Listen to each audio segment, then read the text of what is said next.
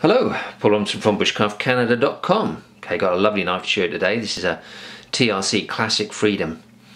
Just had these in from uh, TRC, and uh, Classic Freedom has been out a little while, but they TRC are doing a lot of runs this year, limited runs, using this uh, natural micarta handle and the APOC finish. So this is a run of 300 knives they're doing. This is the Classic Freedom, like I said, with this nice natural micarta. Actually, probably say mm, something like that, dappled natural micarta maybe. It's a slight bit of uh, variation in the colour.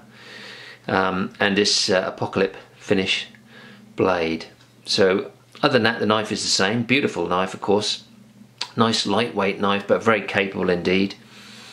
Eight and uh, quarter inches overall length. Has a 2.7 mil spine so plenty of strength you know would make a really excellent lightweight bushcraft outdoor knife hunting you know, even a um, bird and trout knife, whittling, anything like that. It's a superb knife for all those kind of tasks, especially if you're looking to keep the weight down. I would say 2.7 mil thick, plenty of strength there, full broad tang. It's nice black hollow pins there. Um, and 3.5 inch blade, beautiful drop point blade. Now the only other difference on this knife is this kind of got a saber grind rather than the full flat grind like the uh, satin finished classic freedoms but an absolutely outstanding knife, like a really high end. The fit and finish is superb. The steel they're using is the sintered M390, of course, one of the best steels. Superb steel, great edge holding, very, very fine grained, beautiful steel to uh, to have as a blade edge.